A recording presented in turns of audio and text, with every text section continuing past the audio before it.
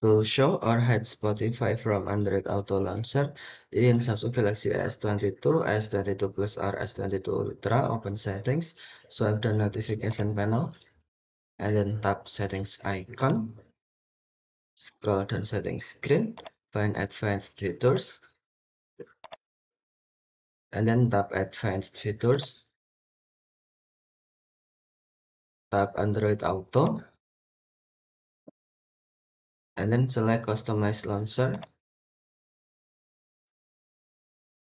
And then on Spotify check Spotify to show or uncheck to hide will you uncheck Spotify will be moved in within app list. And then if you want to uh, show check Spotify. Okay thank you for watching. Have a nice day